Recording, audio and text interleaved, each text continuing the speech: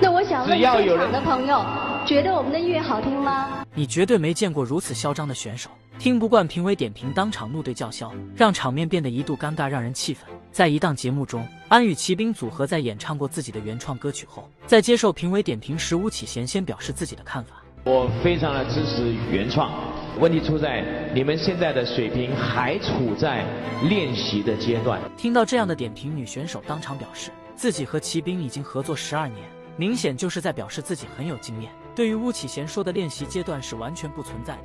我跟骑兵已经合作了十二年了，很好，我们一直在开自己的演唱会，从我们的第一场演唱会只有一个人，到现在只有一百人，所以我们两个人有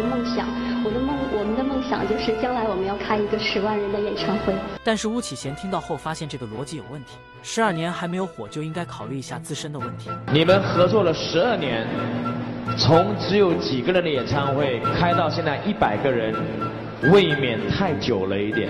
所以你要开十万人的演唱会，可能你要两百八十岁你才能开得到。这表这表开过十示什么呢？万人的演唱会吗？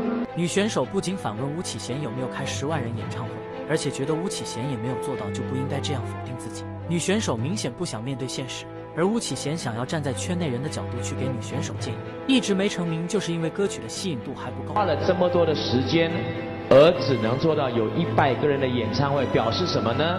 表示你们的吸引力还不够，你们的作品的精彩度还不够。想要帮他们指出缺点，却遭到女选手的忽视，直接问观众自己的歌好不好听。那我想问只要有人现场的朋友，觉得我们的音乐好听吗？这样不尊重人的行为真是让人气愤。虚心的听一下专业歌手的点评，对自己肯定是有益的。在生活中被夸的多了，反而听到实话就承受不了了吗？你觉得巫启贤的点评过分，还是女选手太敏感了呢？快和我一起讨论吧。